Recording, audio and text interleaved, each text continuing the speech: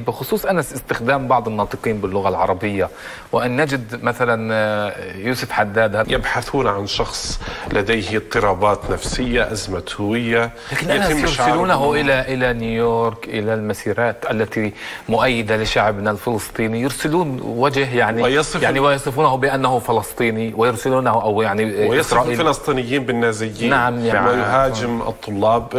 لديه إعاقة معينة آه، يبدو أنه يتم البحث عن هؤلاء بطريقة آه، يعني علماء نفس يبحثون عن شخص لديه مرض نفسي أو اضطراب نفسي يتم إقناعه أنه متفوق عقليا وهو ليس لديه يعني هذا آه، فالجهة التي يجد منها التقدير المبالغ فيه والغير حقيقي هذا الأمر مستخدم في كل جيوش العالم. آه، البحث عن شخصيات هامشية لديها عقد آه، نفسية آه، يعني ويتم استخدامها وهندستها هذا يجري يعني معروف في كل الحروب النفسية نعم.